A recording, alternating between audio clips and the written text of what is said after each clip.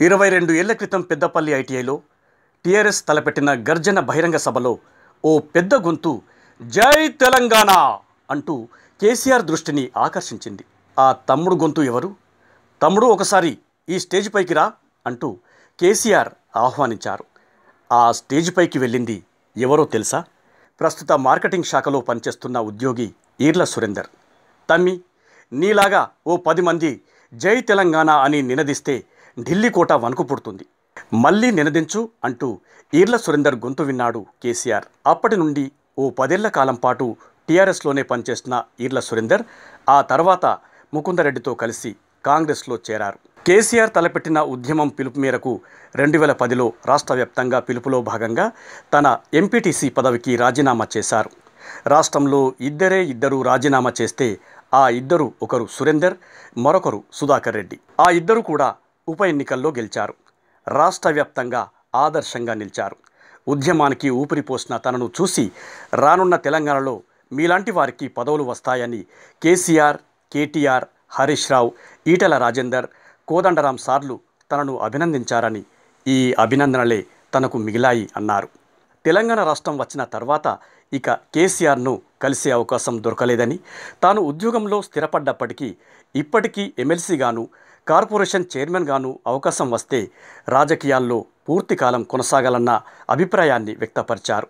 దశాబ్ది ఉత్సవాల సమయంలోనైనా దూరమైన ఉద్యమకారులందరినీ దగ్గర తీసుకొని వారిని గౌరవించవలసిన అవసరం ఉందన్నారు. అయితే ఉద్యమం కోసం రాజీనామా చేసిన సమయంలో జరిగిన ఉప ఎన్నికల్లో తన గెలుపు కోసం మాజీ ఎంపీలు వెంకటస్వామి వివేక్ అప్పటి మాజీ ఎమ్మెల్యే గీట్ల ముకుందరెడ్డి మాజీ MLA Gujjula Ramakrishnareddy C. Satyanarayana Reddy MLC Bhanuprasad Vemula Rammurthy ఇంకా పలువురు తన గెలుపుకు సాయపడ్డారన్నారు. ఇక అప్పుడు ఉన్న టీడీపీ ఎమ్మెల్యే విజయ రమణారావు సైతం తన గెలుపుకు సహకరించడం గొప్ప విశేషంగా చెప్పుకున్నారు. మా యొక్క ఈ యొక్క ఎంపీటీ మా రాజీనామా చేసిన తర్వాత మా యొక్క ఎన్నికలలో మా కోసం అహర్నిష్టలు కష్టపడినటువంటి ఆ రోజు ఉన్నటువంటి పెద్దలందరికీ కూడా ఈ రోజు ఒకసారి ప్రత్యేకంగా మేము కృతజ్ఞత తెలుపుకోవడానికి అవకాశం వచ్చింది కాబట్టి కృతజ్ఞత తెలియజేసుకుంటా ఉన్నాం. కాంగ్రెస్ పార్టీ ఎంపీటీస్కి రాజీనామా చేసిన తర్వాత ఈ యొక్క పెద్దపల్లిలో జెండా చౌరస్తా దగ్గర జరిగేటువంటి అమర నిరహ దీక్షలో మమ్మల్ని ప్రత్యేకంగా సన్మానించడం జరిగింది. విద్యా సంస్థల అధినేత దాసరి మనోరెడ్డి గారు కూడా తన యొక్క దీక్ష శిబిరం లోపల సన్మానించడం జరిగింది. మరి ఈ యొక్క వేదికల ద్వారానే కాకుండా గౌరవనీయుల వంటి తెలంగాణ సిద్ధాంతకర్త ప్రొఫెసర్ జయశంకర్ సార్ ద్వారా గౌరవనీయులు సిఎస్ఆర్ గారి ద్వారా గౌరవనీయులు పెద్దలు దేశపతి శ్రీనివాస్ గారి ద్వారా మరియు గుజ్జుల రామకృష్ణారెడ్డి గారి ద్వారా పెద్దలు గౌరవనీయులు వెంకటస్వామి కాక గారి ద్వారా గౌరవనీయులు పెద్దలు గీట్ల ముకుందరెడ్డి గారి ద్వారా ఇంతమంది అందరితోటి కూడా మాకు సన్మానాలు చేసి ఆ సన్మానాలలో మాకు చెప్పినటువంటి అంశాలు ఏంటి అని అంటే ఈరోజు మీరు తెలంగాణ రాష్ట్రం కొరకు పదవి త్యాగం చేసిరంటే భవిష్యత్తు లోపల తెలంగాణ ఖచ్చితంగా సిద్ధిస్తుంది. మీ త్యాగాలు వృధా కావు. భవిష్యత్తు లోపల ఈ యొక్క రాష్ట్రం లోపల శాసన మండలి లోపల కానీ లేకపోతే భవిష్యత్తు లోపల జరిగేటువంటి ఎమ్మెల్యేలు ఎంపీలు మీరే అవుతారు తప్ప ఎవరు గారు. ఎందుకంటే ఈరోజు పదవి త్యాగం చేసిన వారికి తప్పకుండా గుర్తింపునిస్తాం ఈ యొక్క ప్రభుత్వం ఏం కథ అని చెప్పేసి.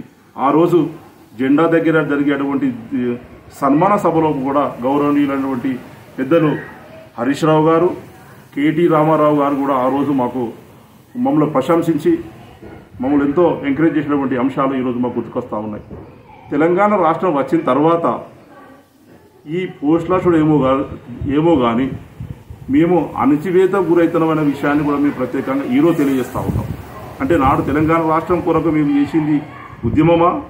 లేకపోతే తప్పు చేసినామా లేదన్న మాకు మేము ఒకసారి పరిశీలించుకొని ఆత్మాభిమానము దిశగా నడిచేటువంటి పరిస్థితి ఏర్పడతా ఉంది. ఎందుకంటే నాటి ప్రశంసలు ఏమైనాయి? నేటి అణిచివేతలు ఏంది? అనే విధానాన్ని కూడా ఒకసారి గవ ఈ యొక్క ప్రభుత్వము మాలాంటుల మీద ఆలోచించాల విషయాన్ని కూడా మేము ప్రత్యేకంగా ఈ యొక్క మీడియా ద్వారా తెలియజేస్తా ఉన్నాం.